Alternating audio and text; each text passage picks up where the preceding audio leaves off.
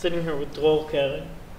Dror, we are just in the middle of our second week of your residency here. Mhm. Uh, for me, I know for me it's been incredible. What's it been like for you? It's such an amazing experience.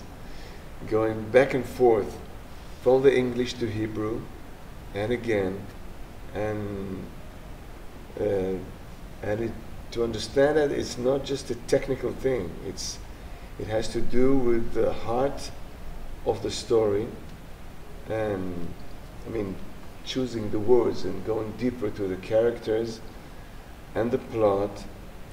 Uh, so it's it's wonderful. I wish I had more time to spend in in Boston, going to just sit in the courtyard of the public library underneath the sun with the books and everything.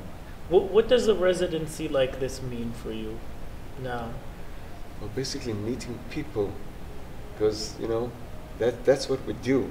We, we- are we're dealing with the souls and stories of people, and to understand that the the bridge is so much closer, Hmm. and we can cross it without without any delay.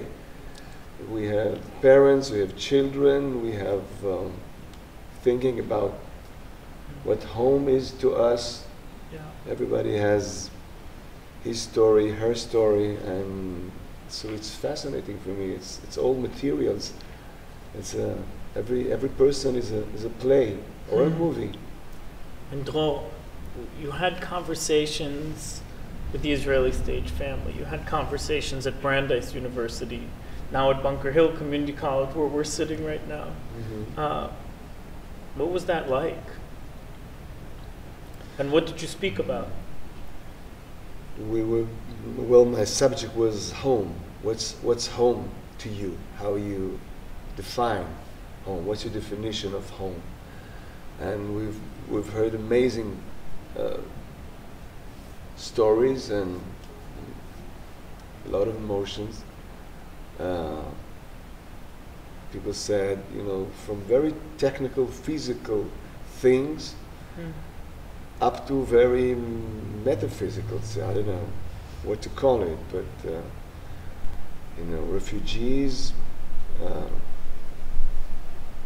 we heard students that coming from you know Ghana, Haiti, and and not very safe places, traumas within the original home or the country, you know, um, running away from disastrous destiny, and well, and, and, and us in the Western world that we have maybe more opportunities, or not maybe, we have more opportunities, and also uh, coming from the, you know, representing the Israeli or the Jewish point of view, Holocaust and Israel, what's it, what is it to me? Can you go away from a country that is your, the, the country you, you've been given after uh, 2,000 years, and it's the place for Jewish people. people so can you think about uh, other place rather than your own country? So yeah, interesting, interesting. So, what are you going back with?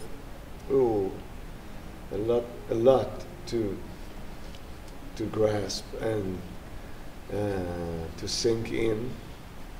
And with the, you know, I, I sat with the characters of my play with uh, beside me in the in the plane, Mm. and they're coming back, and I think I know them better, and uh, I'm happy with that, and I think I will I will I must come back very soon. we would love to have you back. Thank you, Dror. Thank you very much, Guy. Mm.